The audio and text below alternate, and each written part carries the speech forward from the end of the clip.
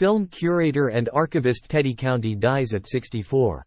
Film curator and archivist Teddy Co has died at the age of 64 after losing his three-year battle with cancer. The Champion Teddy Co's Medical Fund Drive Facebook page announced in a post on Friday, November 3. It is with great sadness that we announce the passing of our beloved Teddy O. Co, a friend and mentor to many, a Filipino cultural and film historian extraordinaire, an icon and advocate of Philippine independent cinema. After three years battling the cancer that ravaged his health, champion Teddy Co's Medical Fund Drive said.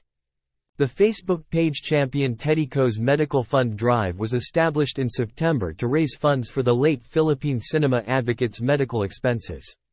The page auctioned off several paintings and held screenings for regional films to raise money for Co. Multiple Filipino film organizations paid tribute to Co in a series of social media posts. Co was instrumental in the recovery of some of the films by national artists, such as Manuel Conde and Gerardo de Leon. The Film Development Council of the Philippines, FDCP, shared in an X thread.